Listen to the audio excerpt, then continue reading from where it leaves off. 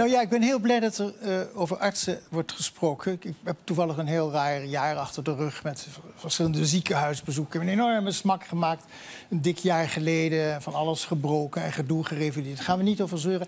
Wat ik interessant vind, is dat ik ontdekt heb wat pijn met je doet. En vooral dat je, als de pijn voorbij is, dat je het niet meer weet. Pijn heeft geen herinnering. Eh, het laat wel iets over, maar daar kom ik zo op. Pijn maakt je klein. Het maakt je wereld klein.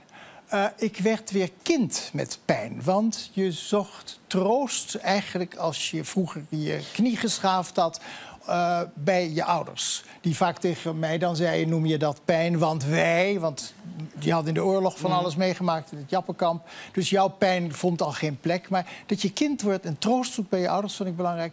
En ik begon mijn littekens te koesteren. En ik heb er nogal wat. Elk litteken is een verhaal. En kan je- daar kan ik uren over praten.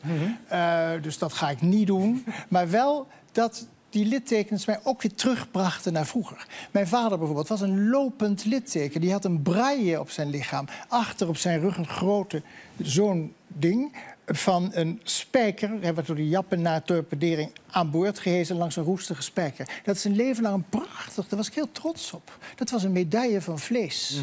En een kuit die kapot was, hij was gemarteld, hij miste een vingerkootje. Dat, dat kwam allemaal terug in mijn pijn. De wonden van mijn zusjes, die een, een keer een kleeuwang over de hand hadden gekregen. en, dat is ook zo. en te vroeger werden er natuurlijk niet keurig gestitcht. Dat groeide met heerlijke juwelen van wild vlees. Nou ja, en zo begon ik plotseling dus mijn eigen littekens te koesteren. En met die littekens kwam ik heel dicht bij de oorlog van mijn ouders.